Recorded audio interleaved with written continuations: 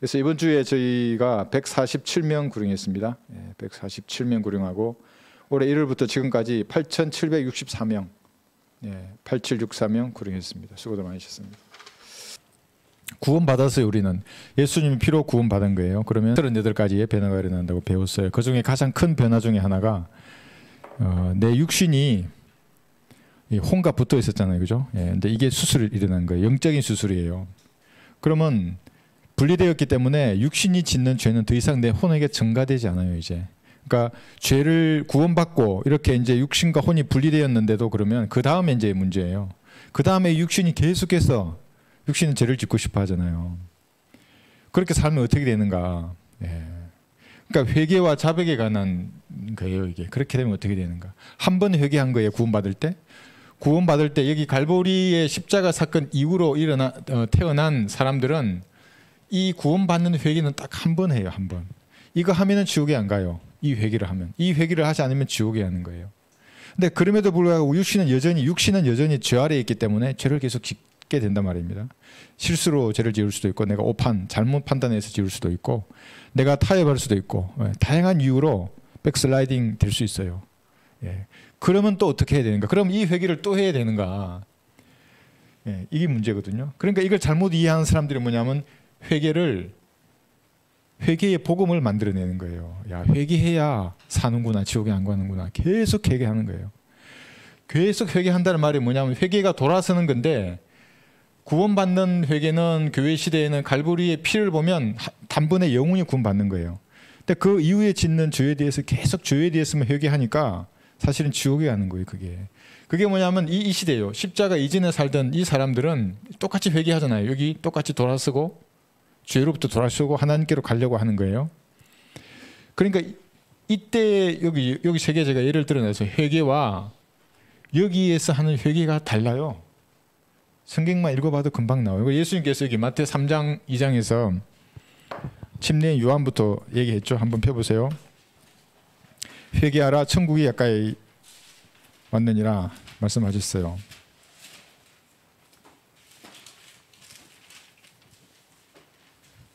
3장 2절하고 4장 17절 볼게요. 3장 2절. 말, 말하기를 너희는 회개하라 천국이 가까이 왔느니라. 여기서 천국은 이제 우리는 다 공부해서 알아요. 하늘나라가 아니에요. 예. Kingdom of Heaven이에요. 눈에 보이는 물리적인 왕국, 예수님께서 통치하실 왕국이 왔다고 지금 예수님보다 앞서서 말하는 거예요. 그러다가 4장 17절에 가면 예수님께서 다시 이제 말하시잖아요. 예수께서 전파하기 시작하여 말씀하시기를 회개하라 천국이 가까이 왔느니라. 내가 통치할 왕국이 이 땅에 왔다는 거예요. 그래서 회개하라 말은 무슨 말이에요? 죄로부터 돌아서라는 거예요. 회개에 돌아서는 거잖아요. 죄로부터 돌아서라는 거예요. 그런데 이때 회개는 다르죠. 여기는 피 흘리기 전에 예수님이 통치할 왕국을 바로 눈앞에 보고 회개하라는 거예요. 그리고 죄들을 사함받은 것으로 인하여 사함받기 위하여가 아니에요. 죄들을 사함받은 것으로 인하여 요한의 침례를 베풀었어요. 이렇게 사람들에게. 그런데 이제 이 두 개 놓고 보면 여기 마태 3장 여기 9절 12절을 보시면 무서워요 이게. 우리가 이제 했으니까 이, 예, 복습한다는 생각으로 보면은 10절 보세요. 이제 또한 도끼가 나무 뿌리에 놓여 있으니 그러므로 좋은 열매를 맺지 못하는 나무마다 찍혀 불 속에 던져지느니라. 이게 뭐예요? 강력한 행위를 말하고 있어요. 이게 마태 5, 6, 7장 가면 더 강력해요. 이제 너 생각으로 범죄해도 죄라고 얘기해요. 이게 뭐냐면 예수님께서 통치하실 그 왕국의 헌법을 공포하시면서 말한 거예요. 회개하라고 죄짓지 말라고 너희들. 하나님의 나라와 의를 네 행위로 구해라 그러는 거예요. 서기관과 바리새인의 의보다 너희는 뛰어나야 돼. 뛰어나지 못하면 도끼로 찢겨서 던져지는 거예요. 이때 회개하고 십자가 이후의 회개는 완전히 달라요. 마태 9장 13절도 한번 보세요. 아직 피 흘리기 전이에요 예수님께서. 너희는 가서 나는 자비를 원하고 희생제를 원치 아니하느니라는 말씀의 의미를 배우라. 나는 의인들을 부르러 온 것이 아니요 죄인들을 불러 회개에 이르게 하려고 왔느라고 하시니라. 자, 앞 이제 마태복음 9장은 아직까지 피 흘리기 전인데 죄인들을 회개시키러 오셨어요. 갈보리의 피 앞에 무릎 꿇고 예수님을 구주로 영접하는 회개가 아니에요. 여기는 구약에 예언된 메시아로 예수님을 받아들여야 돼요. 진짜 그때 왕으로 영접하는 거예요. 우리는 구주로 영접하는 거고 이것도 달라요. 이것도 모르고 사람들은 예수님을 왕으로 영접한대. 무슨 의미인지를 모르는 거예요. 그러니까 여기 지옥 간증 내가 해놨는데 이제 유튜브에 수많은 지옥 간증이 있어요. 하늘나라 간증 있고 다 비성경적이에요. 비성경적이라는 말의 의미는 마귀의 교리라는 말이에요. 그러니까 이렇게 지옥 간증한 어떤 사람의 말을 제가 탁탁 보니까 뭐라 했냐면 예수님을 사랑하고 신뢰하고 예수님을 순종하라 하는 거예요. 그래서 지옥에 안 간다는 거예요. 이게 뭐예요? 행위 구원이에요. 이 행위 구원이 십자가 이전까지 계속 전해지는 거예요. 이거 비슷하잖아요. 도끼를 쪽에 불에 던진다는 거예요. 이게 그러니까 회개하라는 거예요. 헛던 짓 하지 말고 이 복음은 대환란때 다시 전해질 거예요. 대환란 때 행위로 지키지 못하면 용서하지 않으면 대환란 때는 용서하지 않으면 구원을 잃어버리고 지옥에 갈 수 있어요. 내가 세상에게 밀려 패배하잖아요. 세상 풍조에. 지옥에 갈수 있는 시대가 대환란 시대예요. 그러니까 대환란 시대가 왜 여기하고 같아요? 여기도 천국이 이 땅에 임할 수 있는 시기였잖아요. 예수님이 십자가에 못 박히지 않았으면 이 땅이 천국이 되었을 거예요. 천년왕국이. 대환란 때도 곧 천년왕국이 이 땅에 재림할 시기이기 때문에 이때의 복음과 이때의 복음 같은 거예요. 근데 십자가 이유는 달라요. 휴거 때까지는. 이 다름을 이해하지 못하면 이제 여러분들은 사람을 쫓을 수밖에 없어요. 아 여기는 이렇고 저기는 이렇게 누가 옳다 그래. 그러면 우리 목사님을 쫓아갈 수밖에 없어요. 그러니까 성경은 그러지 않기 위해서 탁 나누어서 공부하라는 거예요. 그러면 말씀이 여러분에게 역사하는 겁니다. 그 여기 온 지 얼마 안 되셔도 목사보다 많이 알아요. 어떤 목사가 저한테 연락을 주셨어요. 사실 자기도 모른대요. 아주 아주 솔직한 목사예요. 자기도 잘 모르겠대. 왜냐하면 여기는 이렇게 말했다가 막 회개 행위고 어떤 데 믿음으로만 된다 하고 어떨 때 믿음 아주 어떤 데 펴고 막 예? 스카레스 가면 부모가 찌르잖아요 예언하면 이게 뭐 도대체 무슨 말인지를 모르는 거죠. 아이고 참 솔직하시다고. 예. 그래서 하는 부른 사람이 아니에요. 뭐 간, 하면 안 돼요. 그런 분들이 눈, 눈이 열리 자기도 눈이 열리지 않았는데 그러니까 자기도 소경인데 목소를 한다는 거예요. 그 오전에 그 설교 시간에 얘기했던 그 장로 있잖아요. 자기가 소경인데 나보고 지옥에 한 사람을 봤냐고 소리를 막 쩌렁쩌렁 울리고 아 이걸 보면 왜 안 보이냐고 여기에 누가 보면 16점을 펴봐도 나오는데 혀 끝에 말이야 좀 물을 좀 식혀달라고 외치고 있는데 그게 안 들리냐고 그러는 겁니다. 그러니까 이게 회개가 다른 겁니다. 예. 이제 여기 사도행전 5장 보기 전에 이걸 한번 볼게요. 왜 다르냐 하면 이제 13장부터 천국이 거부되기 시작해서 예수님 이때 유언을 이제 하세요. 나 마태 26장에서 나는 좀 있다가 이제 십자가에 못 박힐 거야 하면서 마태 26장 을 보세요.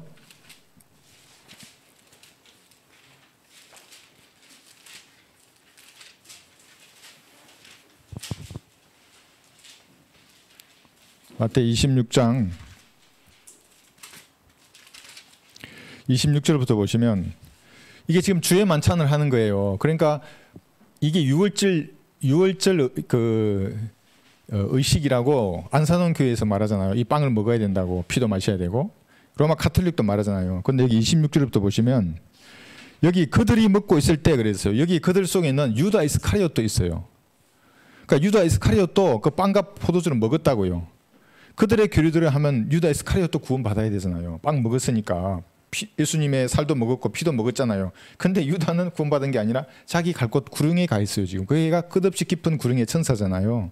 나중에 대화란 또 올라올 거예요. 그러니까 지금도 구릉에서 불 타고 있어요. 고통 속에서 먹었는데도 그러니까 그런 이단은 우리는 속일 필요가 없죠. 예수께서 빵을 가지고 축복하신 후에 떼어 제자들에게 주시며 말씀하시기를 받아 먹으라 이것은 나의 몸이니라 하시고 또 잔을 가지고 감사를 드린 후에 이것 아, 그들에게 주시며 말씀하시기를 이것은 모두 마시라. 이는 이것이 죄들을 사심으로 인하여 많은 사람을 위해 흘리는 나의 새 언약의 피이기 때문이야 그랬어요.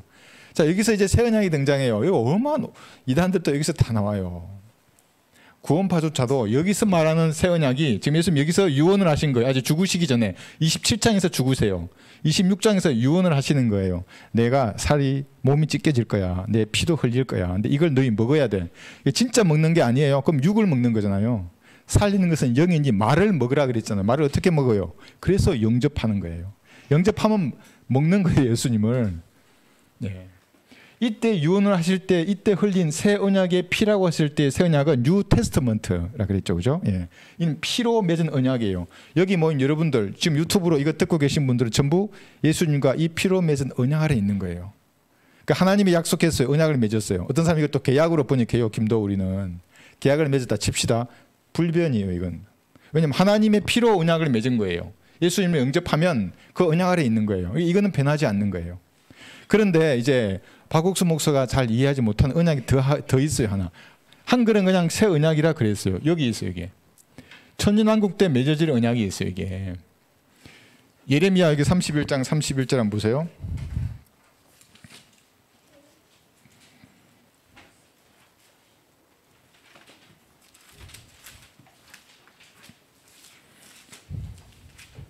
예레미야 31장 31절.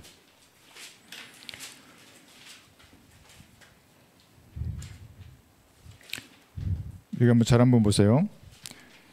한국의 신학교들은 99%가 이걸 몰라요. 여호와의 정의는 조금 냄새는 맡았어요. 무슨 뜻인지. 그러나 그들도 정확히 몰라요.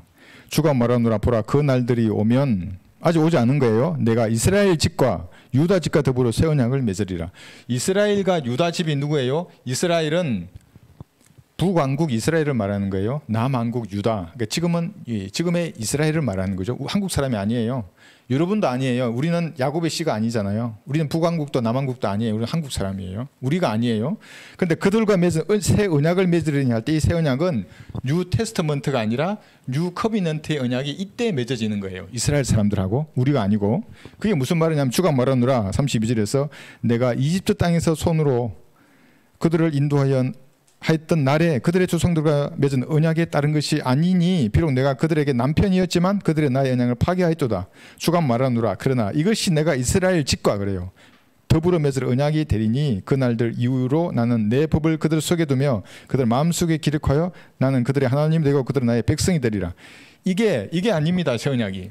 그러니까 예수님이 재림하시면 이스라엘과 유다 집은 얘기했죠. 이스라엘과 유다 집은 새 언약을 맺는데 이것이 뭐냐면 천년왕국 땅에서 유대인들이 예, 지구를 통치하는 민족들이 된다고 그랬어요. 우리가 서로 다른 언약입니다. 예, 요, 렇게만 아시고 여기서 피를 흘 그렇게 해서 여기서 이제 피를 흘리셨어요. 뉴테스트먼트가 시작이 된 거예요. 파류가 됐어요. 히브리서 9장 16절을 보시면 유언은 유언한 자의 죽음이 반드시 필요한 거예요. 그러니까 여러분이 맺은 언약은 예수님의 피로 죽음으로 맺은 언약이에요. 이거는 이거는 이거는 아니죠, 그죠? 예. 다르죠, 이거 이것과 이것은. 그런데 그래서 이 이후로 회개의 개념이 좀 달라지는 거예요. 이제 피 흘린 이후에는. 그래서 사도행전 5장 31절에 가시면 뭐 여러 군데 있지만요.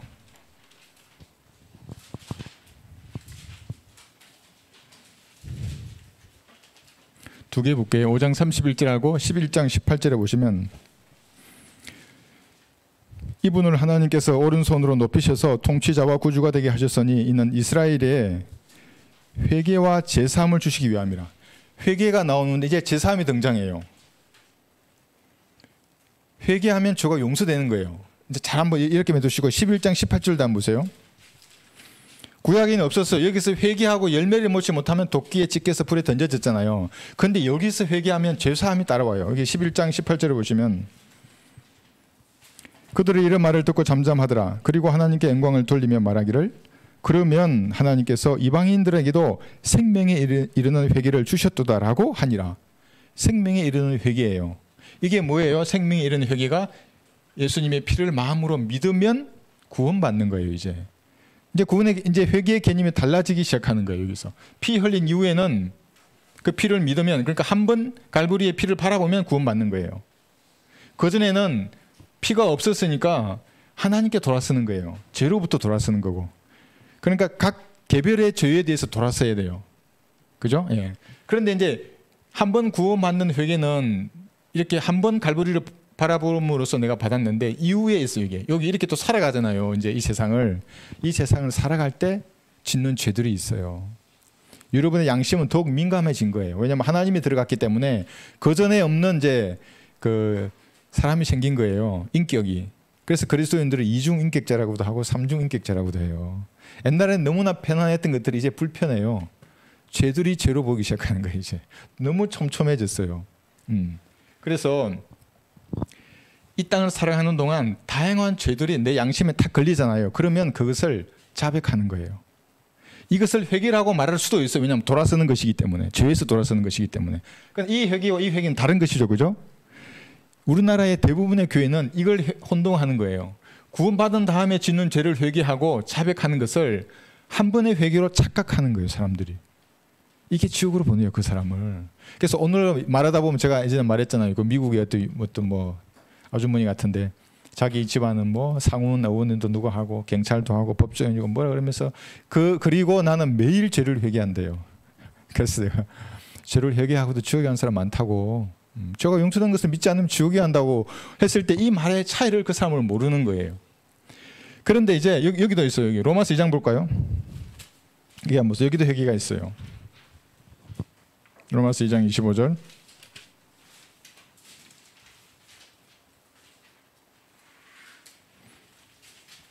2장 4, 5절. 아니면 내가 그분의 선하심을 너를 회개하도록 인도하심을 알지 못하고 하나님의 선하심과 간용과 오래 참으심의 풍성함을 무시하는 것이냐? 다만 너의 완고함과 회개하지 아니하는 마음을 따라 자 여기까지만 읽으면 이거예요. 회개하는 마음을 누가 주세요? 성령님이 주시는 거예요. 그런데 누가 그걸 거부할 수 있어요? 사람이 완고한 마음을 따라 회개하지 않는 거예요. 즉 갈보리를 돌아보지 않아요. 이렇게 죄가 다 용서했다고 유언을 통해서 미리 말씀하셨고 실제 그렇게 실행하셨는데도 사람들은 요 회개를 하지 않아요. 죄가 다 용서되었다는 말을 믿지 않고 끝까지 이것만 계속하는 거예요. 이것만 한다는 말의 의미는 내 존재가 죄인으로 태어났다는 걸 인정하지 않는 거예요. 그러니까 몇 가지 죄들만 개선하면 나는 선하고 착한 사람, 하나님이 받아줄 만한 사람이 된다고 믿는 사람이에요. 이게 교만한 사람이에요, 사실은. 내가 죄 가운데 죄 중에 우리 부모님이 나를 배웠고 내가 죄 가운데 태어났다고 그걸 인정해야 돼요.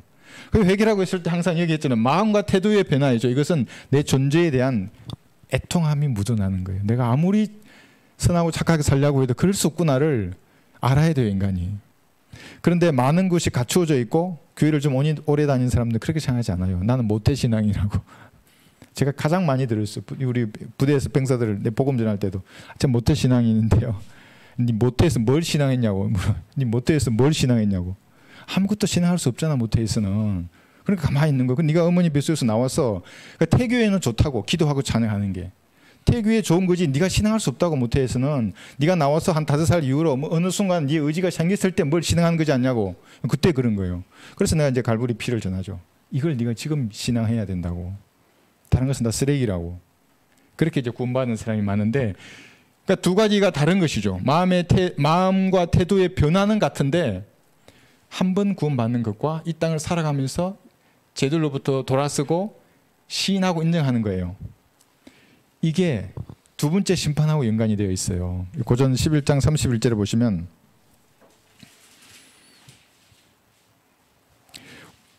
만일 우리가 우리 자신을 판단한다면 판단받지 않으리라. 자신을 판단한다는 말의 의미가 이게 심판이거든요. 판단이 내 양심에 그릇기는 죄를 스스로 판단하는 거예요. 그 우리 자매님 한 분이 그러시던데 이걸 셀프 심판이라고. 이해를 돕기 위해서 그래요. 왜냐하면 어떤 목사도 이걸 이해 못해요. 두 번째 심판을 모르는 거예요. 첫 번째 심판은 갈보리에 내려진 죄에 대한 심판이에요. 그러니까 여러분이 받아야 할 그 죄의 삭설 예수님이 대신 받으신 거예요. 그러니까 이 사실을 믿음으로 구원받아요. 그 믿는 것이 회개하는 거예요. 회개 없이는 십자가를 쳐다볼 수 없어요, 이게. 그 돌아서는 거예요, 갈보리 십자가로. 그리고 구원 받았으면 그 죄들을 자백하는 겁니다.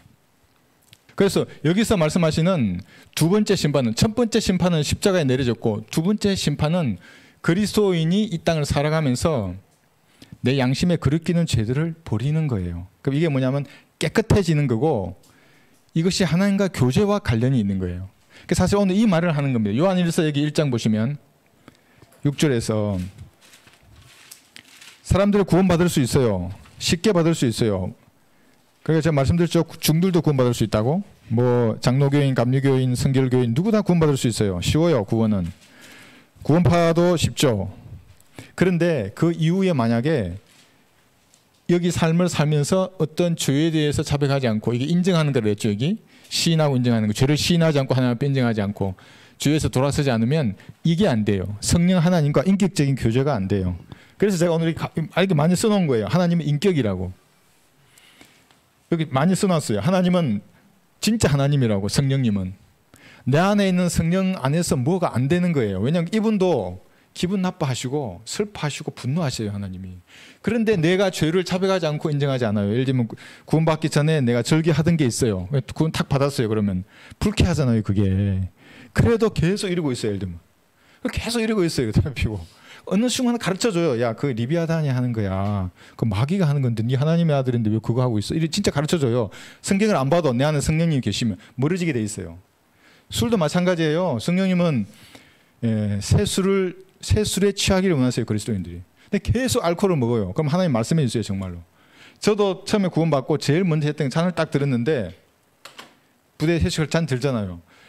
진짜 갈등이 있는 거예요. 그전에는 없는 갈등이에요. 아 이거 먹으면 육신은 기쁜데 내 마음이 불편해. 이게 시작이에요. 이제 갈등의 시작이에요.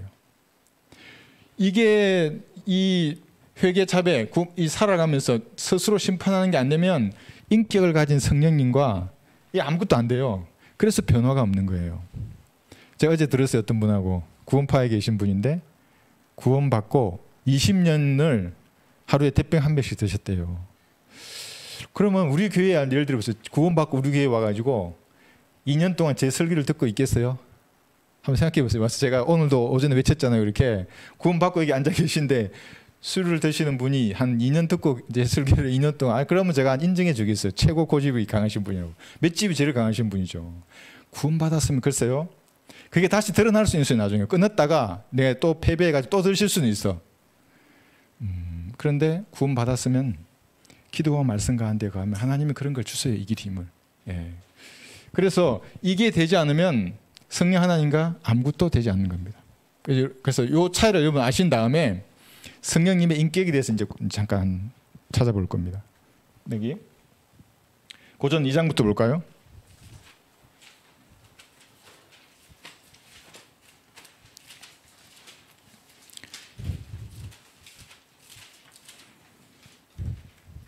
고린도전서 2장 11절 12절 보시면 그러니까 여러분 안에 하나님이 계세요.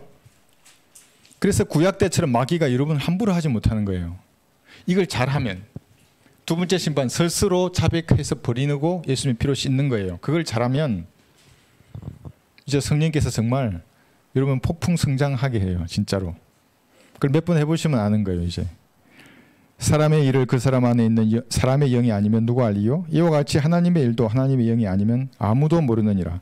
우리가 세상의 영을 받지 아니하여 하고 오직 하나님께로부터 온 영을 받았으니 이는 우리로 하나님께서 우리에게 값없이 주신 것들을 알게 하려 하심이라. 이 무슨 말이냐면 뭐죠? 하나님의 일도 하나님의 영이 아니면 아무도 모르느니라. 그러니까 하나님께서는 다 아세요. 여러분 안에 들어가 계신 성령님께서는 모르는 게 없는 전지하신 하나님이에요. 그러니까 그분 앞에 기도하려고 무릎 꿇었어요. 여러분의 의도를 아실까요? 모르실까요? 여러분의 말이 진짜인지 아닌지 그분 아실까요? 모르실까요? 뭘 하겠다고 결심을 하거나 아니면 자기도 모르는 사이에 소원을 해요. 기도할 때. 근데 그게 진짜인지 아닌지 하나님 아세요. 숨을 데가 없는 거예요. 그러니까. 그러니까 내 먼저 이걸 예수님 피로 씻어내야 돼요. 저는 그걸 잘해요. 그거는. 가지런히 물 꿇고 앉아서 하나님 아버지 제 안에 모든 더럽고 불결한 것들을 예수님의 피로 시간 씻겨 주십시오. 그럼 탁 떠올라요 뭐가. 제 그때 제가 잘못했으면 제저를 용서해 주십시오. 믿음이 있어야 이 말 하는 거예요. 믿음이 있어야.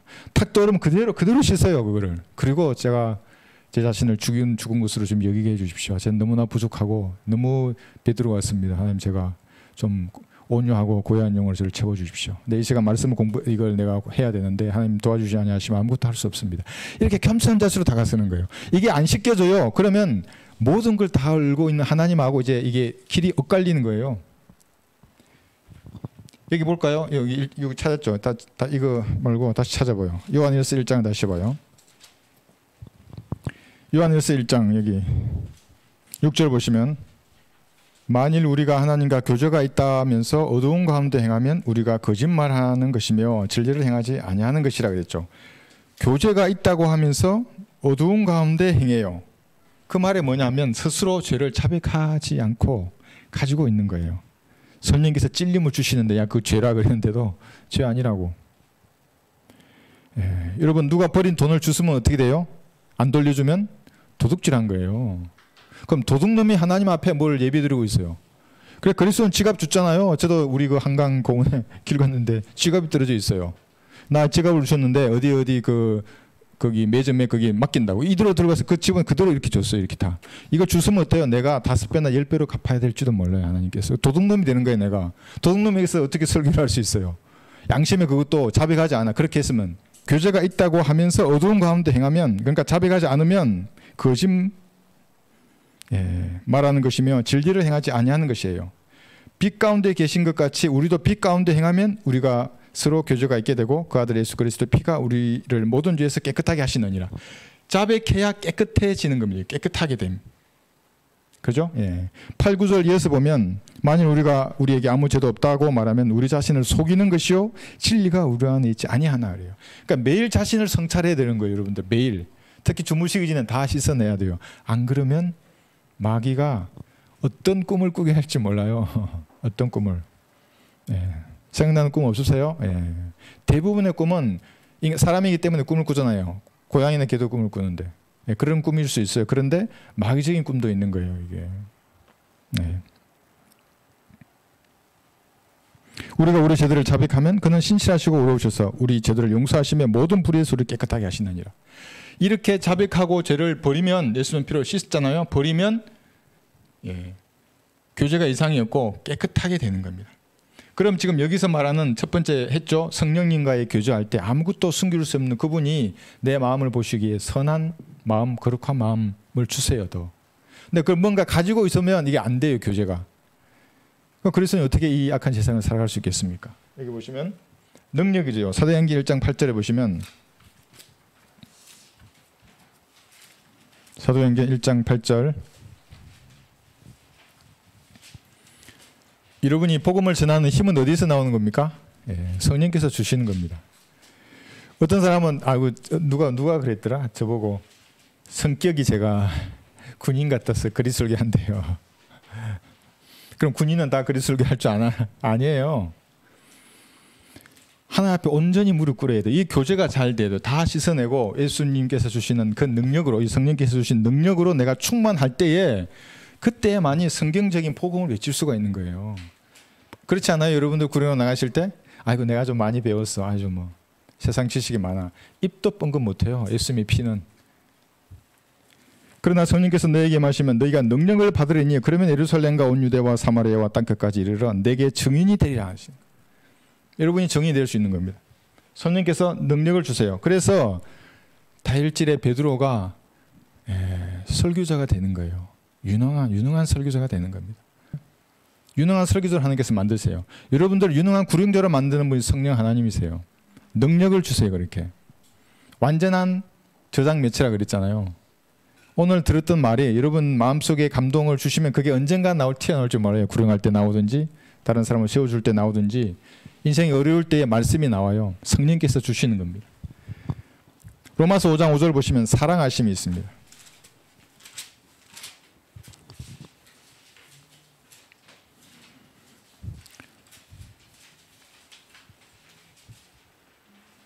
우리가 아직 죄인이었을 때 그리스도께서 우리를 위하여 죽으심으로써 하나님께서는 우리를 향한 그의 사랑을 나타내셨느라 8절이죠. 5절 보시면 소망이 부끄럽지 않은 것은 우리에게 주신 성령에 의하여 하나님의 사랑이 우리 마음속에 부어졌기 때문이라. 사랑이 부어진 것은 성령에 의해서 부어진 겁니다. 그러니까 성령님과의 교제에 이상이 없어야만이 이거 잘 이해하고 나 자신을 스스로 심판 잘하고 예수님 피로 씻어내야만이 여기에 나와 있는 사랑으로 충만하게 되는 겁니다. 아까 제가 간증하는 게 잠깐 들었는데 어릴 때 받은 상처들 있잖아요. 그 어떻게 극복할 수 있겠어요? 다 그런 게 아픔이 조금씩 있어요. 사랑받지 못한 아픔도 있고 뭔가 좀 그래요 우리 인생이 비슷해요. 그러나 하나님의 사랑을 알고 성령님과 교제가 되면 이제 진짜 사랑의 사도가 돼요. 여러분들이 사랑의 선지자예요. 하나님의 사랑으로 충만하게 되는 그러니까 원수를 사랑할 어떻게 원수를 사랑해요? 물론 그게 교리는 이때입니다. 천연왕국 때 가야 되지만 교회 시대를 살아가는 동안에도 내가 복음을 위해서 어떤 사람을 사랑할 수 있어요. 내 사랑을 나눠줄 수 있어요. 맨날 받기만 하고 뭔가 부족해 했는데 이제 넘쳐나요, 그 사랑이. 근데 이게 안 되면 성령님께서 충만하지 않으면 못해요, 사랑. 사랑의 동기로 일을 할 수가 없어요. 다른 사람을 섬기거나 복음을 전하는 것도 사실은 사랑의 동기예요. 예. 그 다음에 보시면 에베소서 4장 30절 여러분 안에 계신 성령께서 슬퍼하시는 겁니다.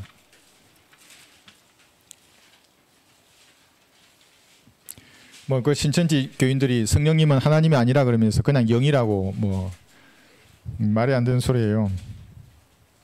여기에서 이제 조금 볼 거예요. 성령님의 신성에서 그건 에베소서 4장 30절 하나님의 거룩한 영을 슬프게 하지 말라 너희가 그로 인해 구속의 날까지 인치심을 받았느니라. 몸이 몸이 구속될 때까지 여러분 인침을 받은 거예요. 그런데 성령님께서는 슬퍼할 수 있어요. 여러분이 만약 저를 인정하고 시인하지 않잖아요. 양심이 이제 찔렸어요. 알려졌어요. 이제 알려진 거예요. 그게 반드시 자백해야 돼요. 아니면 다양한 방법으로 말해요. 제 설교 시간에 자꾸 이렇게 자기만 괴롭힌다고. 그러니까 교회 안 노는 분도 있어요. 내가 어떻게 알고 그분만 위해서 세워주려고 그러지. 그 성령께서 자기 죄를 지적한다는 것을 아시고 그걸 그냥 자백하면 돼요. 예수님 제가 실수로 죄를 지었습니다. 하나님 제 죄를 용서해 주십시오. 예수님의 피로 정결되기를 원합니다. 마음이 너무나 아픕니다. 예수님의 피로 제 양심을 씻겨주십시오. 즉시 씻겨지는 거예요. 그게 안 믿으니까 그 사람은 평생 안 씻고 그냥 상처를 안고 가는 거예요. 그러면 사랑도 안 나오고 능력도 안 드러나는 거예요. 네. 슬퍼하심. 여러분이 육신적으로 뭔가를 하게 되고 마귀의 교리와 타협하면 성령님이 슬퍼하시는 거예요. 그러니까 여러분을 여러분께서 하나님을 기뻐하시게 할 수 있는 좋은 기회가 뭔가 박해가 다가왔을 때요 이제 이제 잔이 나한테 왔구나 하는 게 다 다른 사람들 주더니만 드디어 잔이 나한테 온 거예요. 좀 잘 받아요 이렇게. 제가 말했잖아요. 전 처음 교회 갔는데 그러셨다고. 네가 저 사람들보다 나를 사랑하냐? 난 아니다 그랬잖아. 그랬잖아요. 그럼 몇 년 연기된 거예요. 그 잔은 그때 줄 수 있었는데. 아마 줬으면 내가 못 받았을지도 모르죠. 근데 여러분에게 그런 박해가 왔을 때, 고난이 왔을 때 내 자신을 돌아보고 돌아봐요. 이렇게. 돌아봤어요. 저거 없어요. 하나님 앞에 자백할 만한 게. 그러면 이것은 여러분 연단하는 시험으로 받아들이고 감사해야 하는 거예요. 제도 교인들은 그걸 잘 안 믿어요. 근데 여러분이 확신하셔야 돼요. 그걸. 조금만 지나면 돼요. 그러면은 아, 이래서 이런 일이 있었구나를 알게 되는 겁니다. 예. 그래서 예, 슬퍼하심. 예. 자신을 하향 평준화 하면 안 돼요. 그래서 제도화된 교회 교인들처럼 이렇게 하향 평준화해서 같이 친구로 지내면 안 돼요. 그 사람들하고 복음을 전하려고 이렇게 얘기하는 거거든요. 그래, 어, 그래, 하나님 그런 분이야. 이제 그러면서 이제 탁 얘기하는 거예요. 탁탁 이렇게. 그 다음에 로마서 8장 26절 한번 볼게요. 중보하심.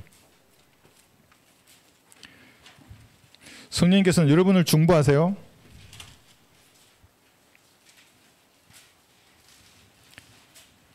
로마서 8장 26절 이와 같이 성령께서도 우리의 연약함을 도우시나니 이는 우리가 마땅히 기도해야 할 것을 알지 못하나 성령님께서 친히 말할 수 없는 신음으로 우리를 위하여 중보하시기 때문이라. 방언이 아니라 여러분 기도할 때 말이 전할 수도 있어요. 잘못 기도할 수도 있어요. 그러나 성령께서는 아세요. 뭘 기도하려고 하는지를 아시고 하나님께 똑바른 똑바르게 말을 중보해서 올려드리는 거예요. 어떻게 했을 때? 이거 잘했을 때예요. 이게 깨끗하게 씻고 주님 앞에 아래 있는 거예요. 그러면 중보해 주세요. 근데 그러지 않고 뭔가 오물이 계속 묻어 있어. 그러면 중보하고 싶어도 성령께서 그 비둘기 같으신 성령께서 어떻게 올 수 있어요? 오물이 있는데. 그 예수님 필요 다 씻어내고 아래 있는 거예요. 필요를. 그러면 설령 내가 기도를 잘 못하더라도 성령께서 중보하시는 겁니다. 그 저도 어떤 유튜브에서 유명한 목사 설교를 봤어요. 뭐그 성령께서 방언으로 중보하신 중보한다고 하는 분도 있어요. 내가 말을 못하니까 성령께서 대신해 준다. 방언으로. 그러면 히브리어로 해야 맞는 말이지. 그리고 셋째 하늘에 오는 거 히브리어니까. 근데 히브리어도 아니잖아요. 뭐 말, 말할 수 없는 이상한 언어로 하는 것은 아니죠. 예, 그래서 중보하시는 겁니다. 요한일서 1장 7절에 보시면 이런 마음속에 빛을 비춰주세요. 요한일서 1장 7절. 아까 읽었었죠? 그분이 빛 가운데 계신 것 같이 우리도 빛 가운데서 행하면 우리가 서로 간에 교제가 있게 되고 그의 아들 예수 그리스도 피가 우리를 모든 죄에서 깨끗하게 하시느니라. 이러면 이 빛이 여러분이 한번 해보세요. 예, 떠오르는 제도를 예수님 피로 씻고 자백해 보세요. 그러면 빛나요 이제. 그러면 여기 해놓은 대로 여기 해놨어요. 미래에 뭐가 두려운 거 뭐 있어요, 여러분? 아이고 나도 혹시 무슨 병에 걸리면 어떻게 하지? 무슨 사고 나면 어떡하지? 내 먹을 게 없으면 어떡하지? 누가 떠나가 버리면 어떡하지? 오만 가지 두려움이 휩싸일 때 그 어둠이에요 그런 것들은. 근데 여러분 이런 것들 다 씻어내 버리면 빛 가운데 거예요. 고독하지 않는 거예요. 그래서 혼자 있을 때 찬양하는 그리스도인 진짜 그리스도인 그랬죠. 예. 행군할 때 찬양하는 군인이 진짜 구원받은 군인이에요. 난 지금도 생각나요. 그 그때는 내 무릎이 다쳤을 때예요. 왼쪽 무릎이 다쳐서 그 비 오는 날 행군을 하는데 지금도 생각나요. 그 좀 이 야간 행군하는데 비를 맞으면서 쫙 이렇게 걷잖아요. DS 보면 사람들 그냥 막 이래가지고 죽, 죽을 듯이 막 군장 메고 그냥 군장 무, 비 오니까 얼마나 더 무거워져요. 난 손 들고 찬양하면서 갔어요. 그때 구원받았었으니까. 예, 그런 빛이 비치는 거예요, 그게. 그러면 뭐 두려울 게 없어요. 고독하지도 않아요. 남들은 그 예, 행군하면서 뭐가 했으면 담배 피고 맨날 뭐 이렇게 하잖아요. 그리스도인만의 기쁨이 거기서 나오는 거예요. 예. 그 다음에 여기 불면증 시편 127편의 2절 하나님과 온전한 교제가 없으면 잠이 오지 않아요. 꼬리에 꼬리를 물어요. 뭐가요? 잡생각들이. 여러분 그런 경험 안 해보셨어요? 요거 염려하고 있으면 요거 뒤에 가면 또 딴 고민이 또 나와. 계속 가요 이렇게. 한 시간 두 시간 흘러도 잠이 안 와요. 127편 2절 보시면 2편 127편 2절 너희가 일찍 일어나고 밤늦도록 자지 않고 수고의 빵을 먹는 것도 헛되도다. 그러므로 그가 자기의 사랑하시는 자에게 참을 주시는도다. 이 말이 무슨 말입니까? 여러분이 마음에 거리끼는 것이 없어야 돼요. 이거예요, 이거. 자백하고 버리는 거예요. 어떤 죄가 있으면 그로부터 돌아서는 거예요. 그리스도인이라면. 구원받지 않았다면 갈보리를 보는 거예요, 이렇게. 그러면 마음에 빛이 비쳐요. 근, 근심, 염려, 걱정할 틈이 없어요, 그러면은. 음. 그래서, 그러면 하나님이 사랑하시는 자에게 잠을 주시는 거예요. 불면증을 대체하려면 그리스도인들은 자기 자신을 뒤돌아봐야 돼. 뭔가 잠을 못 자요.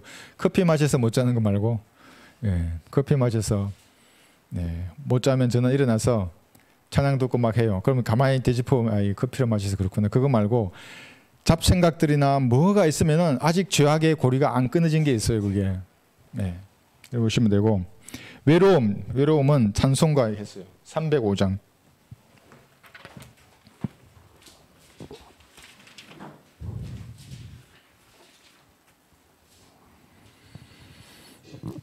사절에 보시면 이 찬양 아세요?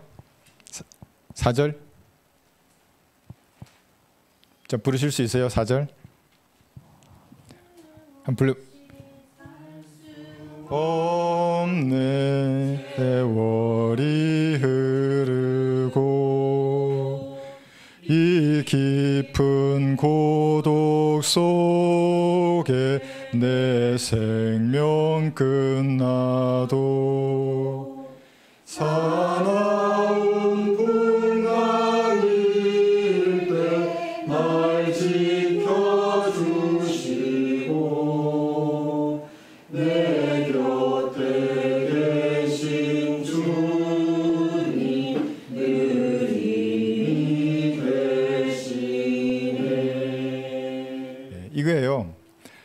성령님과의 교제 가운데 있으면은 예, 이 깊은 고독이라 그랬잖아요. 이게 외롭지 않아요.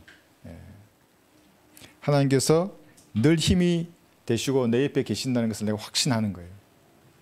근데 이거 안 되면 안 돼요. 여기서 탁 막혀버려요. 자백하지도 않고 내가 어떤 하나님께서 지적하신 죄에 대해서 돌아서지 않으면 예, 이거 없어요. 이게 뭐 딴 거 찾아요 또 그리스도인인데 하나님으로부터 위로가 아니라 다른 데서 위로를 찾아요. 이렇게. 음. 예, 바퀴에 이길 힘을 주시는 겁니다. 그리고 그 다음에 얘기 한번 볼게요. 예, 무소부지 하시는 것. 성령 하나님이 에, 주 하나님이에요. 그러니까 예수님도 주님이시고 성부 하나님도 주님이시고 성령 하나님도 주님이 있어요. 여기 삼위일체 하나님을 믿지 않으면 그건 즉시 이단이에요. 어떤 사람은 로마 카톨릭도 삼위일체를 믿는다고 그래요. 아, 믿지 삼위일체를. 그런데 다른 것은 이단이에요. 거기에 진리가 전혀 없으면 사람들이 가겠어요? 거기서 성김도 있고 찬양도 얼마나 잘해요. 가짜 찬양이지만 육신적으로 부르지만 그러나 근데 외행은 다 갖추고 있는 거예요. 무소부재 시편 139편 보시면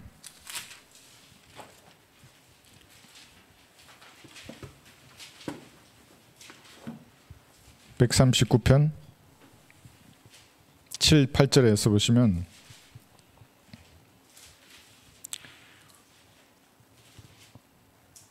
내가 주의 영으로부터 벗어나 어디로 가며 주의 면전에서 벗어나 어디로 피하리이까 내가 하늘로 올라갈지라도 주님께서는 거기 계시며 내가 지옥의 잠자리를 마련한다 하여도 보소서 주께서는 거기 계시나이다. 이게 성령님의 무소부지함을 나타내는 거예요. 영원하신 하나님이에요. 그러니까 사람들은 이 이단 사이비에서 말하는 것들 들어보면 말이 안 되는 말 중에 하나가 예, 이 영을 받으면 예수님이 하나님이 됐잖아요. 그래서 이만희도 유괴 보유사가 됐다 그러는 거예요. 그럼 나도 여러분도 다 성령 하나님을 몸에 받았는데 우리가 다 이만희예요. 유괴 보유사고. 음, 이해할 수 없는 교리들을 그 사람을 말합니다. 하여튼 성령님은 그래서 신성을 가지신 하나님이십니다. 요한복음 3장 6절에 보시면 하나님만 줄 수 있는 생명을 주세요.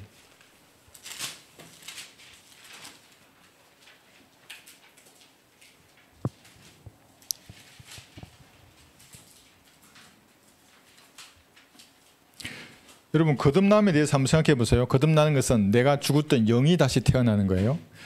언제 그렇게 되냐면 요거예요. 첫 번째 회개. 교회 시대의 성도들은 갈보리에 설리셨던 예수님의 이 피, 새 언약의 피를 내 마음으로 믿으면 예, 거듭나요. 죽었던 영이 살아나는 거예요. 이 살아나는 집도를 누가 해요? 성령께서 하시는 거예요. 그래서 영적 수술의 집도 하시는 분은 성령 하나님이시잖아요. 그죠? 예, 6절에 보시면 육신으로 난 것은 육이고 성령으로 난 것은 영이니라. 영이 살아나는 거예요. 근데 이것이 생명이잖아요. 거듭나지 않은 사람의 혼은 죽은 것으로 얘기 하나님께서 그래서 죽어서 지옥에 가는 거예요. 생명을 주는 분은 그래서 하나님이신데 성령께서 이 생명을 주는 거예요. 거듭난 새 생명. 영적 수술을 성령 하나님께서 하시는 겁니다. 하나님이십니다. 성령님께서. 마지막으로 예, 베드로후서 1장 21절에 보시면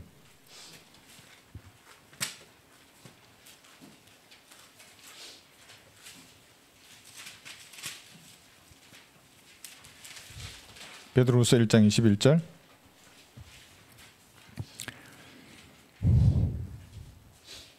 자 여기서 보시면 예언은 예전에 사람의 뜻에서 나온 것이 아니요 오직 하나님의 거룩한 사람들이 성령으로 감동을 받아 말한 것이니라. 이게 예언인데 기록된 게 성경이잖아요. 그러니까 많은 말을 했어도 기록된 건 하나님께서 한정적으로 기록하셨어요. 그런데 이제 여러분들이 구령할 때 말을 하잖아요. 그죠? 말을 해서 어떤 사람들에게 은혜의 복음을 전파해서 혼을 이겨 와요. 성령의 감동으로 하는 말이에요, 그게. 제가 지금 나간 이 말이 만약에 비성경적인 말이라면 이거는 여러분들에게 아무런 힘이 안 돼요. 여러분을 변화시킬 수 없고 예, 힘이 안 돼요, 이거 자체가. 예, 세상에 나가서 여러분이 말을 할 때도 마찬가지예요. 다 성령께서 주시는 성령의 감동을 하는 말들이에요. 그러니까 이것이 잘 되면 여러분이 나가서 무슨 말을 하잖아요. 하나님의 말씀이 여러분의 입을 통해서 나와요. 예. 고린도 전서 11장 31절 스스로 내 자신을 심판하는 이것 이것이 요한일서 1장에 나와 있는 예, 교제와 깨끗하게 만드는 것이에요. 이것이 이 모든 것을 다 가능하게 하는 거예요, 이게. 그죠? 영원하신 성령 하나님과의 교제 가운데 있게 만들어요. 그분의 능력으로 여러분이 덧입는 겁니다. 이 정도 교리만 아셔도 여러분 속지 않아요. 그리고 육신의 힘으로 이 세상을 살려고 하면 얼마 가지 못합니다. 그 힘으로 박해를 견디려고 하면 얼마 가지 못해요. 반드시 쓰러지는 거예요. 성령의 능력으로 던 입으려 그러면 그 기초가 바로 이것인 겁니다. 그죠? 예, 자백하고 버리고 다시 하나님이 주신 힘과 능력으로 충만해져야 합니다. 그러니까 이게 그래서 샘물같이 흐르는 보혈의 능력이라는 게 왜 그래요? 누구든지 그렇게 하면 되는 거예요. 언제든지. 믿음만 있으면 할 수 있어요. 근데 믿음이 없으니까 웬만한 사람들 그냥 그 자기 혼자 그 짐을 그냥 예, 쥐고 나가려고 하는 겁니다. 여러분들 그렇게 하지 마시고 오늘이라도 갈고리 십자가 앞으로 모든 짐을 다 내려놓고 보혈의 능력으로 힘 입어야 되겠습니다.